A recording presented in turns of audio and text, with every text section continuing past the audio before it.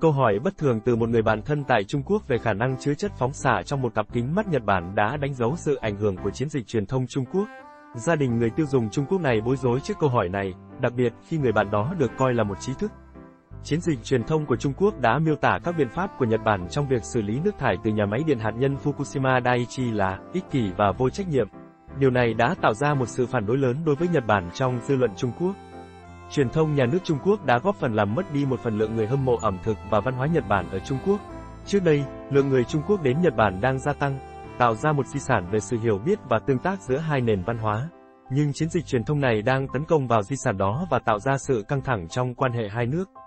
Khi nước thải từ Fukushima được xả vào biển, nhiều người Trung Quốc đã hoang mang và thậm chí mua muối từ các cửa hàng tạp hóa để tích trữ. Muối này đến từ tỉnh Thanh Hải, một khu vực nổi tiếng với vẻ đẹp tự nhiên của cao nguyên Thanh Hải Tây Tạng. Một lần nữa, chiến dịch truyền thông đã gây ra sự lo sợ và phản đối, ảnh hưởng đến cả ngành sản xuất muối trong nước. Những tác động không ngờ này của chiến dịch truyền thông Trung Quốc đã gây ra một loạt hậu quả đối với Nhật Bản và mối quan hệ giữa hai quốc gia. Trong bối cảnh thế giới đang tìm cách xử lý những thách thức liên quan đến năng lượng hạt nhân và quản lý môi trường, chiến dịch này đặt ra nhiều câu hỏi về việc sử dụng thông tin và truyền thông để thúc đẩy một lối sống bền vững và quan hệ quốc tế tích cực.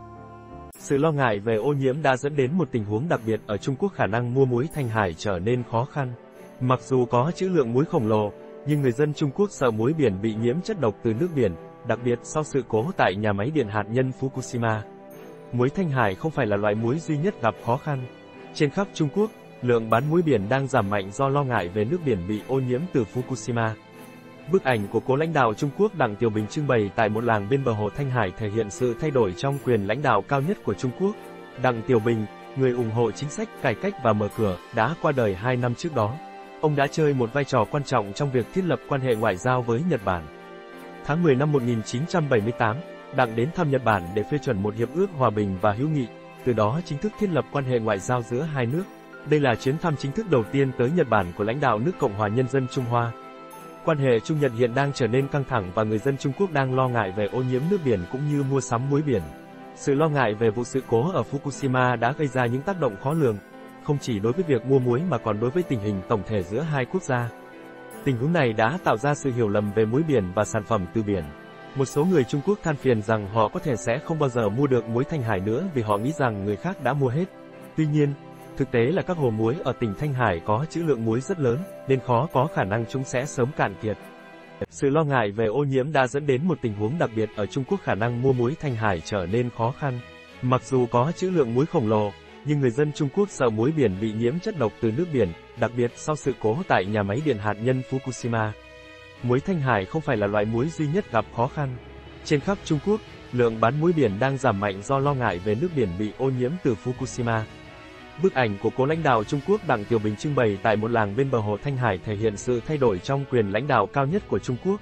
Đặng Tiểu Bình, người ủng hộ chính sách cải cách và mở cửa, đã qua đời hai năm trước đó.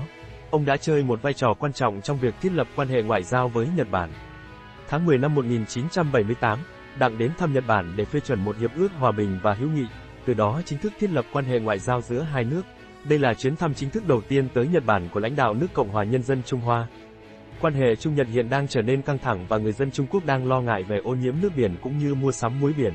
Sự lo ngại về vụ sự cố ở Fukushima đã gây ra những tác động khó lường, không chỉ đối với việc mua muối mà còn đối với tình hình tổng thể giữa hai quốc gia.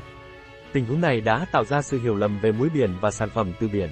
Một số người Trung Quốc than phiền rằng họ có thể sẽ không bao giờ mua được muối Thanh Hải nữa vì họ nghĩ rằng người khác đã mua hết.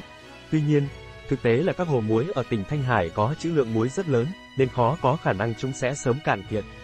Gần đây, tập đoàn thương mại điện tử khổng lồ Alibaba có trụ sở tại Hàng Châu đã phải cắt giảm lực lượng lao động để đối phó với cuộc đàn áp chính trị nhắm vào các tập đoàn công nghệ tư nhân, vốn do tập chỉ đạo. Kết quả là giá bất động sản địa phương đã giảm đáng kể và nền kinh tế địa phương ngày càng tệ hơn. Tuy nhiên, những người như Lu, một phụ nữ Trung Quốc 30 tuổi sống ở Hàng Châu, vẫn muốn tiếp tục tận hưởng niềm đam mê du lịch Nhật Bản. Những du khách Trung Quốc có kinh nghiệm du lịch một mình thường tránh những địa điểm đông đúc và chọn những suối nước nóng hoặc những địa điểm ít nổi tiếng. Điều này cho thấy nhu cầu đi du lịch Nhật Bản thường phát xuất từ khách du lịch cá nhân hơn là nhóm, một xu hướng có thể góp phần vào sự hiểu biết lẫn nhau giữa hai quốc gia. Trong khi đó, Trung Quốc đã đáp trả việc Nhật Bản xả nước thải từ Fukushima bằng cách áp đặt lệnh cấm toàn diện đối với các sản phẩm thủy sản của Nhật. Động thái này chắc chắn sẽ ảnh hưởng đến giá thị trường tại Nhật Bản, Trung Quốc và Hong Kong chiếm tổng cộng hơn 40% tổng giá trị xuất khẩu sản phẩm thủy sản của Nhật. Người bán thực phẩm khô tại chợ Toyosu ở Tokyo đã bày tỏ sự thất vọng về việc này, đặc biệt đối với các sản phẩm như hải sâm khô và bào ngư khô, thực phẩm mà thực khách Nhật Bản hiếm khi ăn. Phản ứng của Trung Quốc cũng sẽ tác động tiêu cực đến giá cá ngừ vây xanh, một sản phẩm cá biển cao cấp của Nhật Bản. Cá ngừ vây xanh đánh bắt ở vùng biển Nhật Bản được xếp vào loại cao cấp nhất,